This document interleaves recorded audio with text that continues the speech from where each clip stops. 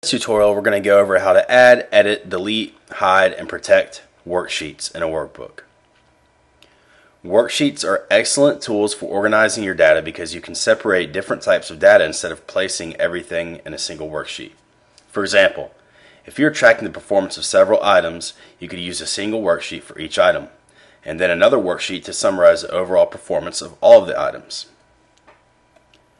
How to add a new worksheet. To add a worksheet, there will be a button to the right of the worksheet tabs. If you press this button, a new worksheet will be added. You can also press Shift plus F11 to insert a new worksheet before the sheet that is activated. Another way to add a new worksheet is to right click on a Sheet tab. Click Insert and then select what you want to insert from the Insert dialog box. This method allows you to enter other workbooks templates such as time cards, invoices, and other templates from Office.com. How to delete worksheets. If you want to delete a worksheet in your workbook, you can right click the Sheet tab and select Delete from the shortcut menu. Another method is to use the delete command which is located in the home ribbon under the cell group.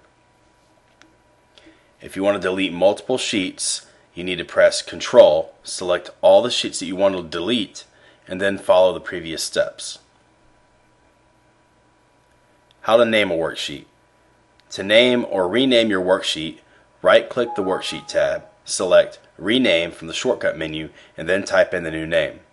You can also double-click the Worksheet tab, and Excel will allow you to edit it there. Worksheet tab color. Some people like to color code their worksheets. To do this, right-click the tab, select Tab Color from the shortcut menu, and then select the color of your preference. How to change the default sheet setting. You may want to change the number of sheets Excel opens by default. In the 2010 version, Excel opens three worksheets by default. For many workbooks, only one sheet is necessary, and if more are needed, you can just add them. To change the default number of worksheets, click File and then Options, and the Excel Options dialog box will appear. In general, enter the default number of sheets you prefer where it says Include this many sheets, and click OK. How to copy and move worksheets. You can also copy and move worksheets in the current workbook or in different or new workbooks. To move or copy a worksheet, right-click the Worksheet tab and select Move or Copy to access the Move or Copy dialog box. Use this box to make your commands. To move a worksheet in its current workbook, you can also click on the Worksheet tab and drag it to the location you prefer. To make a copy of a worksheet, click and drag the worksheet while pressing Control. You can move and copy multiple worksheets simultaneously by pressing Control to select multiple worksheets. Protecting your workbook and worksheets. If you want to prevent someone from making changes to your workbook or to a specific worksheet, you can do this by requiring users to enter a password before making changes to your workbook or worksheet. This could be a very useful tool if you have employees working on a computer where Excel files can be accessed or within a workbook where certain sheets need to be protected. How to protect a workbook.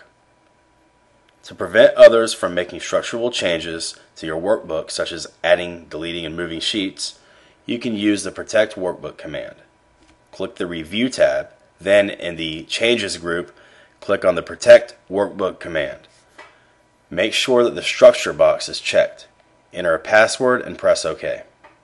Then re-enter your password in the Confirm Password dialog box and click OK. Now to make structural changes, the workbook will have to be unlocked with the password.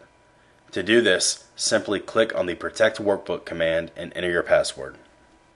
You may also have worksheets within a workbook that you want to protect from others. By using the Protect Worksheet command, you can keep others from making changes by disabling certain commands or keep others from making any changes at all. Click the Review tab, then click Protect Sheet, and the Protect Sheet dialog box will appear. Make sure the Protect Worksheet and Contents of Locked Cells box is checked, and then check the commands you want to allow users to perform without unprotecting the sheet. Now enter your password and click OK. Then re-enter your password in the Confirm Password dialog box and click OK. Hiding worksheets.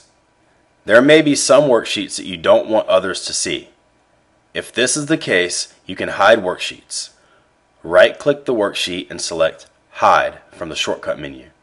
If you want to unhide the worksheet, simply click on any worksheet tab and select Unhide. From the Unhide dialog box, select the sheet that you want to unhide. Making worksheets very hidden. You can also make a worksheet very hidden, where it can't simply be unhidden using the Unhide dialog box. Step 1. Activate your worksheet. Step 2 click the Developer tab. Then in the Controls group, click on Properties. The Properties dialog box will appear. Step 3. In the visible box, click on the drop-down arrow and select 2 minus XL Sheet Very Hidden.